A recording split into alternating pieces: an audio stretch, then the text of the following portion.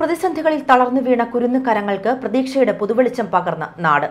Changanassery Vakathanam bus സ്റ്റാൻഡിന് സമീപം വാടകയ്ക്ക് താമസിക്കുന്ന നെടുങ്കണ്ടം പള്ളിത്താഴെ തങ്കപ്പൻ കവിതാ ദമ്പതികളുടെ മക്കളായ മന്നാമോളുടെയും ഏലീഷിന്റെയും പഠനം ഉൾപ്പെടെയുള്ള പ്രതീക്ഷകൾക്കാണ് സുമനസുകളുടെ പിന്തുണ കിട്ടിയിരിക്കുന്നത്.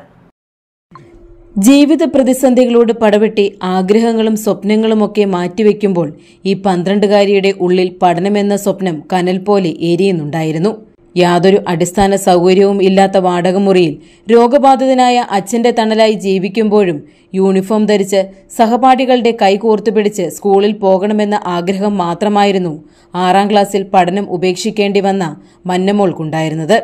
സ്കൂൾ പഠനമെന്ന സ്വപ്നം മന്നമോൾ ആഗ്രഹിക്കുമ്പോൾ സഹോദരൻ ഏലേഷ്യനും ആ ആഗ്രഹവും സ്വപ്നവും അന്യമായിരുന്നില്ല.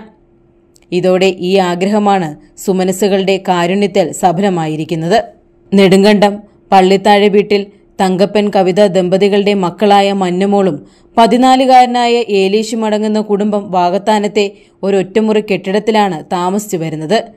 ഇവരുടെ ദുരിതം മനസ്സിലാക്കി വാഗത്താനം പഞ്ചായത്ത് പ്രസിഡന്റ് റോസമ്മ മത്തായി വാർഡംഗം ടി എസ് സുനിത എന്നിവരുടെ നേതൃത്വത്തിലാണ് സ്കൂൾ അധികൃതർ വീട്ടിലെത്തി കുട്ടികളെ വിദ്യാഭ്യാസമെന്ന സ്വപ്നത്തിലേക്ക് വീണ്ടും കൈപിടിച്ച് നടത്തിയത്. കുഞ്ഞുങ്ങൾക്ക് തുടർ പഠനത്തിനുള്ള എല്ലാ സൗകര്യങ്ങളും ഒരുക്കുകയും ചെയ്തിട്ടുണ്ട്. തുടർന്ന് ഇവർക്ക് കയർ താമസിക്കാൻ ഒരു വീടും ആ വീടുണ്ടാക്കാനായിട്ട് അല്ലെ വീട് വെക്കാൻ ഒരു രണ്ട് മൂന്ന് സെന്റ് സ്ഥലവും കണ്ടെത്തുന്നതിന്റെ ശ്രമത്തിലാണ് ഞങ്ങൾ എല്ലാവരും കഴിഞ്ഞ ദിവസം എന്നെ ബഹുമാനപ്പെട്ട പ്രസിഡന്റ് പറഞ്ഞതനുസരിച്ചാണ് ഈ വീട്ടിൽ വരികയും ഇവരുടെ ദയനീയാവസ്ഥ കണ്ട് മനസ്സിലാക്കുകയും ചെയ്തത്. എന്നോടൊപ്പം സെന്റേലിയ നാലിനാക്കൽ സെന്റേലിയ സ്കൂളിലെ ഹെഡ് മിസ്ട്രസും ടീച്ചർമാരും ഉണ്ടായിരുന്നു. ഇളയ കുട്ടി യു പി സ്കൂളിലാണ് പഠിക്കുന്നതെന്ന് അറിയുകയും കുട്ടിയുടെ മുഴുവൻ പഠന ചെലവും സ്കൂൾ ഏറ്റെടുക്കുകയും തുടർ പഠനത്തിലുള്ള എല്ലാ സൗകര്യങ്ങളും ഒരുക്കി കൊടുക്കുകയും ചെയ്തു. ആറാം ക്ലാസ്സുകാരിയായ മന്നമോൾക്ക് Nalunnakkal saint Elias U P സ്കൂളിലും ഒൻപതാം ക്ലാസ്സുകാരനായ ഏലീഷിന് Vakathanam Jerusalem mount higher secondary സ്കൂളിലുമാണ് തുടർ പഠനത്തിന് അവസരം ലഭിച്ചിരിക്കുന്നത്.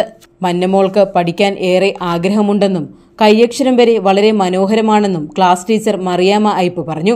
സാഹചര്യങ്ങളുടെ അഭാവത്തിൽ കുട്ടികളുടെ പഠനം മുടങ്ങരുത് എന്ന സ്കൂളിന്റെ നയത്തെ തുടർന്ന് വാർത്ത അറിഞ്ഞ ഉടൻ തന്നെ മന്നയുടെ വീട്ടിലെത്തുകയും കുടുംബത്തെ ധൈര്യപ്പെടുത്തുകയും കുട്ടിയെ സ്കൂ സ്കൂളിൽ പഠനം തുടരുന്നതിനുള്ള സാഹചര്യങ്ങൾ ഒരുക്കി പഠനോപകരണങ്ങളെല്ലാം തന്നെ നൽകി അധ്യാപകരുമൊത്ത് ആ കുടുംബത്തെ സന്ദർശിക്കുകയും കുട്ടിയെ സ്കൂളിലേക്ക് സഹർഷം സ്വാഗതം ചെയ്യുകയും ചെയ്തു. ഏലീഷിനും പുതിയ സ്കൂളിൽ വലിയ വരവേൽപ്പാണ് ലഭിച്ചത്. കരിങ്കല്ല് ചുമട്ട് തൊഴിലാളിയായിരുന്ന പിതാവ് തങ്കപ്പൻ ഒരു വശം തളർന്നു കിടപ്പിലായതോടെയാണ് മന്നയുടെയും ഏലേഷ്യന്റെയും പഠനം നിലച്ചത്. ഇരുവരുടെയും ദുരവസ്ഥ അറിഞ്ഞതോടെ നിരവധി പേർ സഹായഹസ്തവുമായി എത്തുന്നുണ്ട്. ഒപ്പം മാർത്തോമ സഭ ഇവർക്ക് വീട് നിർമ്മിച്ച് നൽകാമെന്നും അറിയിച്ചിട്ടുണ്ട്. ഇതോടെ ഈ കുരുന്നുകളുടെ പ്രതീക്ഷകൾക്കും സ്വപ്നങ്ങൾക്കും വീണ്ടും ചിറകുമുളക്കുകയാണ് A C V news Kottayam